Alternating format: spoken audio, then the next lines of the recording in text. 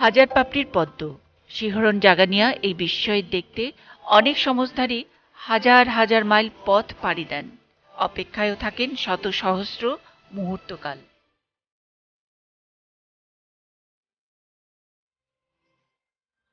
হাজার পাপড়ির এটা যখন ফুটলো সেদিন কেমন লাগল? আহ, এটা আসলে ভাষায় ব্যক্ত করতে পারব না। আমি তো আসলে চিন্তাই করিনি যে আমাদের ওয়েদারে আমাদের দেশে এরকম হবে। এটা হচ্ছে চায়নার এমন জায়গায় হয় যেখানে অনেক শীত থাকে হুম? আমি আসলে এখন তো এরকম একটা গনগনে গরম। হ্যাঁ। এর মধ্যে আমার মনে হয় প্রথম বছর এই কারণে ফুল আসে নাই।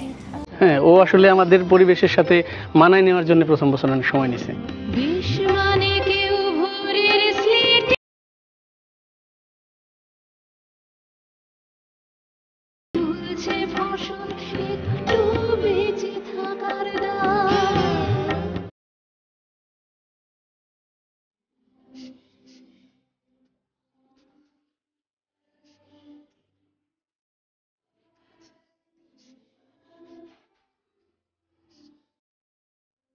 আর বাংলাদেশের প্রকৃতি নদী জল হাওয়া যখন এমন উপহার সহজেই দেয় তখন সে উপহার গ্রহণ করতে হয় অকুণ্ঠ চিত্তে নির্ভয়ে নিরজনে।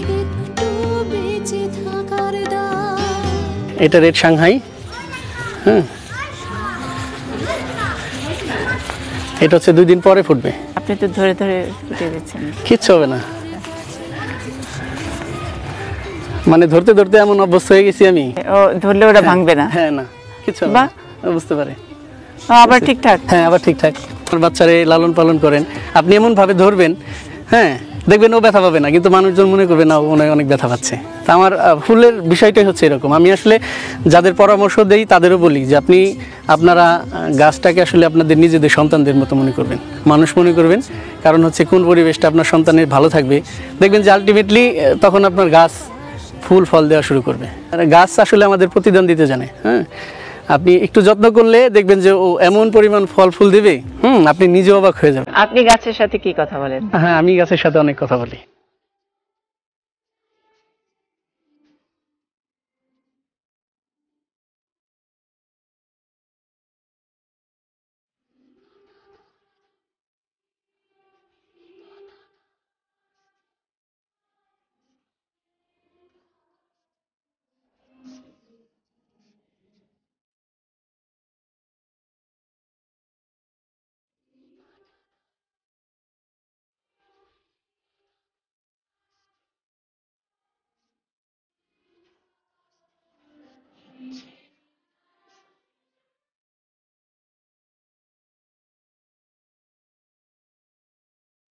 মানিকগঞ্জের বালিরটেক সুলতানপুরের তানভীর, এলাকায় পরিচিত কষ্টে বড় হওয়া মেধাবী হিসেবে। আর ফেসবুকে তার পরিচিতি ওয়াটার লিলি তানভীর নামে।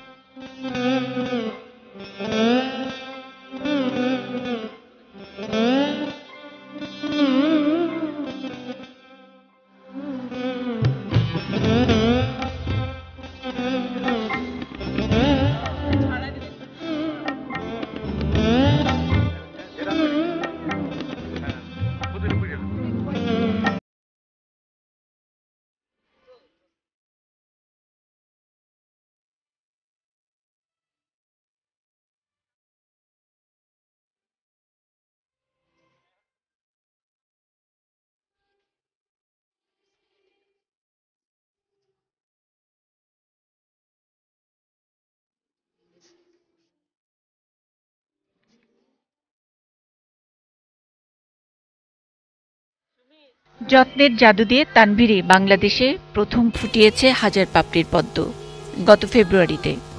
সেটা নিয়ে যে হইচই করতে হয়, সেরকম ঢাক পেটানোর যে সে নয় তা বোঝাই যায়। সম্প্রতি কেরালার এক পদ্মপ্রেমিক তার বাগানের পদ্মকে দক্ষিণ এশিয়ার প্রথম পদ্ম দাবি করায় হয়তো প্রকৃতি মুচকি হেসেছে। আমার কাছে দেশ মানে তানভীরের বাগানে এই ভরা ভাদরে পরপর দুদিনে দুটি হাজার পাপড়ির পদ্ম। আমি তো অপেক্ষাই করতেছিলাম যে কবে ফুটে কবে ফুটে। লাস্ট হচ্ছে আপনার ফেব্রুয়ারি মাসে ফুটছিল। হুম তখন আমি আসলে খুব বেশি আগ্রহী ছিলাম না। তো রিসেন্ট হচ্ছে এর কারণ হচ্ছে যে আমার নর্মালি পদ্ম আছে তো আছেই শেষ। হ্যাঁ। এরকম। আর আমি আসলে প্রচারের আলোয় আসতে চাইছিলাম না। হুম এই এই মাসেই বোধ এই মাসের প্রথম দিকে কেরালার এক লোক হচ্ছে ওর নাম হচ্ছে গণেশ। হচ্ছে থাউজেন্ড পিটালস দিয়ে এমনভাবে প্রচার প্রচারণা চালাইলো।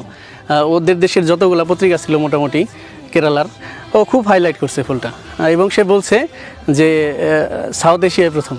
তখন আমি ওরে কী করছি, ওরে টেক্সট করছি যে, আমার তো এটা ফেব্রুয়ারি লাস্টের দিকেই ফুটছিল। হুম।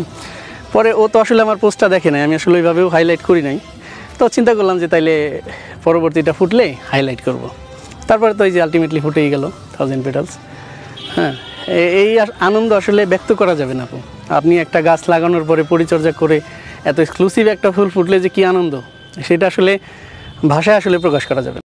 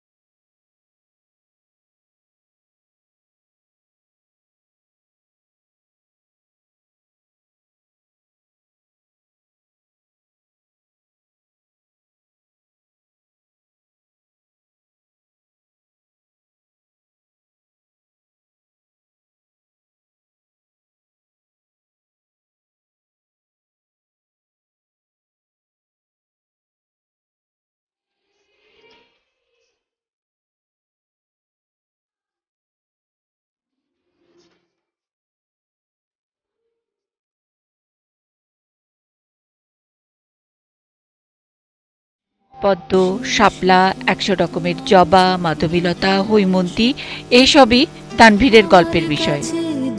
মানে বন্যায় সাজানো বাগানটা একটু নাশ হয়েছে তাতে কি? সব জাত সব ভ্যারাইটি ছোট্ট এই চিলতে বাগানে আবার ফুটবে আবার রঙে রসে বাগান আলো হবে। এই আনন্দেই তানভীর আত্মহারা। কথা বলে যায়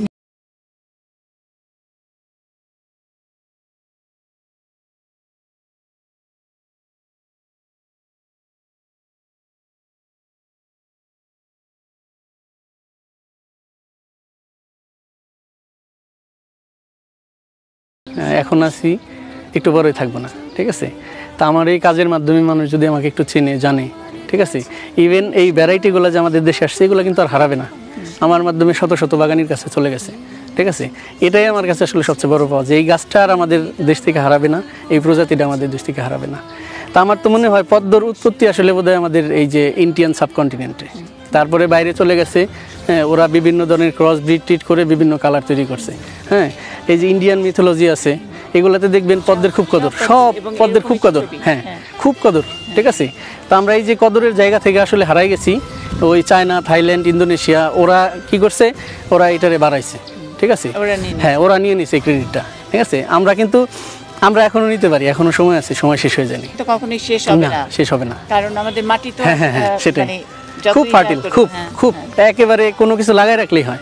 ওই যে বললাম যে জল গোলাপটা আপনি একটা চারা নিয়ে একটা বিলে ফেলে দেন ঠিক আছে পরের বছর হাজার হাজার চারা হবে। এক সিজনে একসাথে ফুটলে কী যে সুন্দর লাগে মানে বলার মতো না। এই গাছটা আমি সর্বপ্রথম দেশে আনাইছি ঠিক আছে? এবং আমার মাধ্যমে এই দেশে এখন অনেকের কাছে আছে হাজার হাজার মানুষের কাছে আছে। এই এই ফিলিংস আসলে বোঝানো যাবে না। অন্তত শান্তি আছে ফুলের কাছাকাছি থাকতে পারতেছিস। এটা এই ফিলিংস আসলে বোঝানো যাবে না যে কতটা সুখ কতটা শান্তি। সকালবেলা এসেই মনে করেন যে আমি সব ইয়ে থাউজেন্ড পেটালসটা আটকানো ছিল।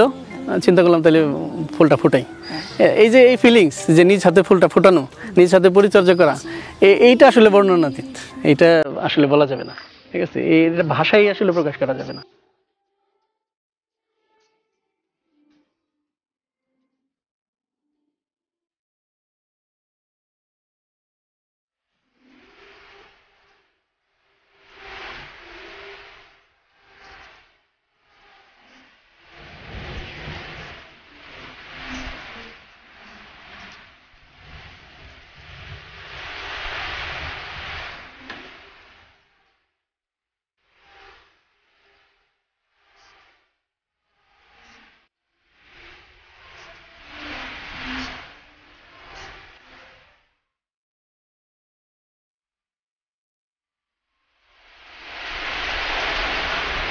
ঢাকা বিশ্ববিদ্যালয় থেকে ইংরেজি সাহিত্যে মাস্টার্স তানভীর।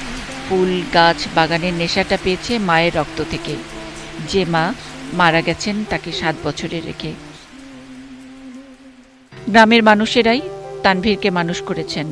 কেউ লেখাপড়ার খরচ, কেউ পরীক্ষার ফি কেউ বা এই একটু জমিতে তানভীরের পদ্ম চারার স্বপ্ন বুনতে দিয়ে গোবরে পদ্ম ফুল এই প্রবাদের বাস্তব রূপ দিতে সহায়তা করেছেন। সর্বোচ্চ পর্যায়ে পড়ে মানুষ চাকরি না করে যে স্বাবলম্বী অন্যরকম এই জন্য মূলত সবাইকে ই করি। ঢাকা ইউনিভার্সিটিতে পড়ুয়া একটা ছেলে নিজের উদ্যোগে গ্রামে থাইকা এইরকম একটা সৃষ্টি করছে। এটা দৃষ্টান্তমূলক আমাদের সুন্দর ছিল তো খুবই সুন্দর ছিল। বেকারদের জন্য একটা বড় দৃষ্টান্ত আমাদের দেশের জন্য। স্বকীয়তার ভিতরে নিজের ভূমিতে দাঁড়াইয়া সে যে চেষ্টা করছে এই জন্য আমরা একটু সহযোগিতা না করলে তো হবে না। আর যে বন্যার জন্য তো আমরা অনেক দু তিন লাখ করে লস খাইছি ছয় লাখ টাকার মতন আছে। ছয় লাখ টাকা। এই যে কাঞ্চনটা দেশে আর কারও কাছে টাকার অঙ্কটা আরও বেশিও হতে পারে। অ্যামাউন্টটা ও জানে কিন্তু আমরা ওটা বলতে পারব কিন্তু ক্ষতিগ্রস্ত অনেক। আমরা ছিলাম আর কি বন্যা শুরু পরে থেকেই সবাই যে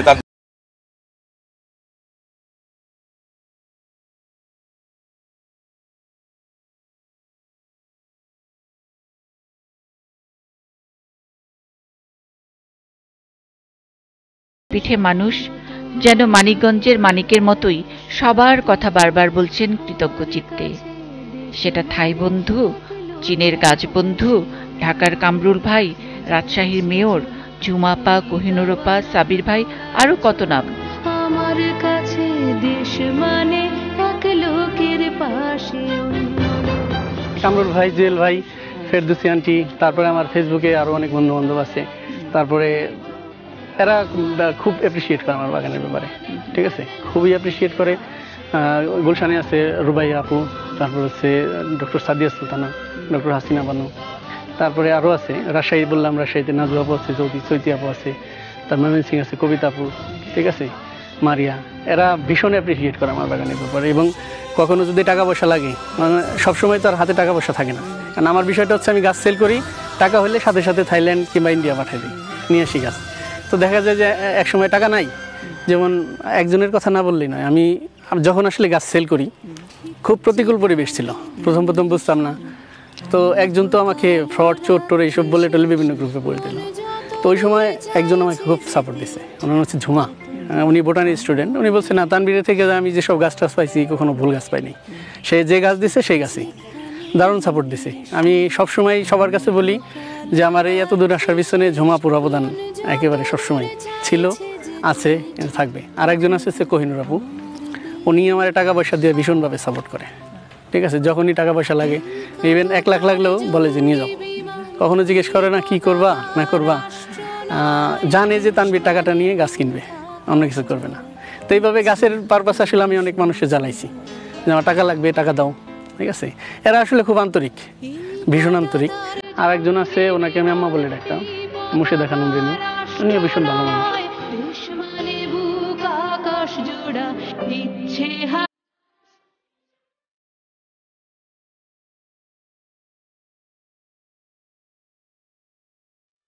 সকাল থেকে বিকেল, লম্বা সময়টায় পদ্মতানবীরের গল্প শেষ হয় না। জবার গল্প, ক্রস করে শাপলার নামকরণের গল্প, বাংলাদেশে কিছু দুষ্প্রাপ্য গাছ প্রথম আনার গল্প, আর এদেশের মাটির গল্প। শাপলা পদ্ম কিংবা জলজ বাগানের উপরে মানে একটা ইনস্টিটিউশন যদি বাংলাদেশে হয়, মানুষ বাংলাদেশের মাটি এমন উর্বর মানে যা কিছু ফেলবে, সব হয়। সেটা জলজ গাছ হোক আর এমনি গাছ হোক হ্যাঁ। পৃথিবীতে মনে হয় যে বাংলাদেশেই একমাত্র দেশ, যেখানে নাকি কোনো যত্ন ছাড়াই শাপলা পদ্ম এগুলো এমনি ফোটে। হ্যাঁ। অন্যান্য দেশে ওরা অনেক যত্ন করে। ডেল্টার তো বড় ব্লেসিংস তো এই পদ্মাটা হ্যাঁ, তাই না? আর আর আর আপনার আপনি পদ্মার এই তিন হাত দূরে থাকেন। সেটাই। এই পদ্মার নামে কি আপনার কোনো মানে কোনো ক্রিয়েশন ওই যে যেটাকে ক্রস করেন হ্যাঁ, হ্যাঁ। সুন্দর সুন্দর পদ্ম বানান? পদ্মা আছে আসলে এরকম। পদ্মা এক একরকম আর পদ্ম।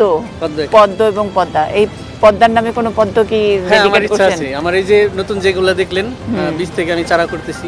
হয়তো বা নতুন একটা ইউনিক কালার হইলে হ্যাঁ। আমি চিন্তা ভাবনা করব ঠিক আছে? কারণ ঐতিহ্য তো আসলে ধরে রাখা লাগবে। আচ্ছা। আমার আর আমার শিকড় আসলে এখানে। আচ্ছা আপনার শিকড়গুলো আপনার হাতের স্পর্শ আপনার ভালোবাসা সেগুলো এত সুন্দর হয়ে ওঠে আপনার এই মানিকগঞ্জের হ্যাঁ, মাটি। সেটার জন্য এই নদীটা এই মাটি এই জল হাওয়া কতখানি কতখানি কন্ট্রিবিউট করে বলে মনে হয়?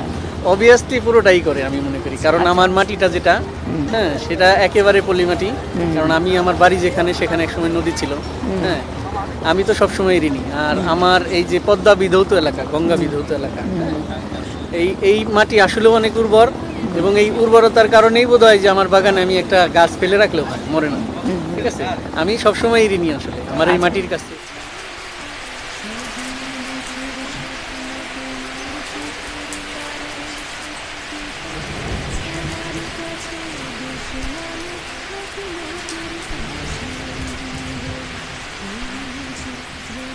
প্রত্যেক দিন আনন্দ পান প্রত্যেক দিন ঘুমানোর সময় চিন্তা করে ঘুমান যে সকালবেলা একটা নতুন কি সারপ্রাইজ মানে প্রকৃতি তো আপনাকে সারপ্রাইজ দেয়।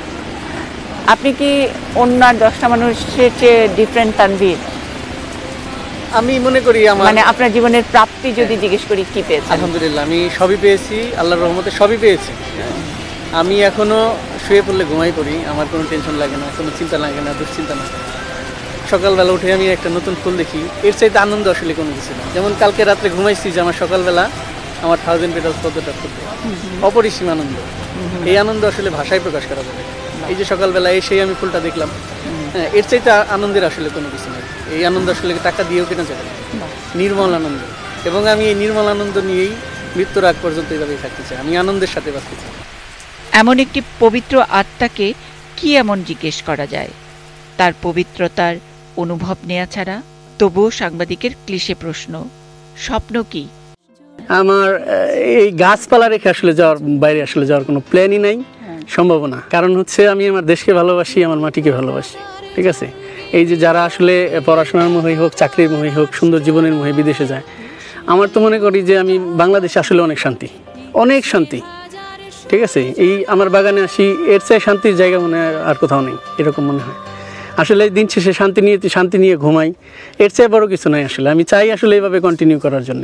তা আমার আসলে স্বপ্নটা হচ্ছে এমন একটা বাগান করব যেখানে পৃথিবীর দুর্লভ দুর্লভ গাছ থাকবে এবং মানুষজন গবেষণার জন্য এখানে আসবে। ঠিক আছে? মেডিসিনাল প্ল্যান্টস থাকবে রেয়ার প্ল্যান্টস থাকবে, সুগন্ধি ফুল থাকবে, লতা থাকবে। যত ধরনের ভ্যারাইটি আছে এবং সব রেয়ার ঠিক আছে? ইভেন আমাদের দেশি কিছু গাছ আছে যেগুলো বিলুপ্ত হয়ে যাচ্ছে। হ্যাঁ সেটা নিয়ে কাজ করার আমার খুব আগ্রহ। যেমন মাধবীলতাটা কেউ চিনতো না সবাই মধুমঞ্জুরিকে মাধবীলতা বলে চালাই দিত। আমি বোধ হয় পাঁচ ছয়শো লোকের মাধবীলতা আসল চারা দিয়ে দিছি।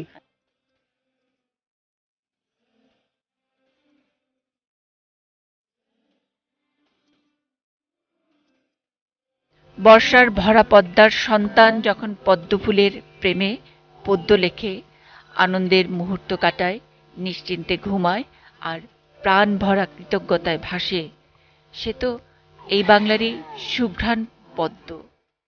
তার নাম যাই হোক না কেন।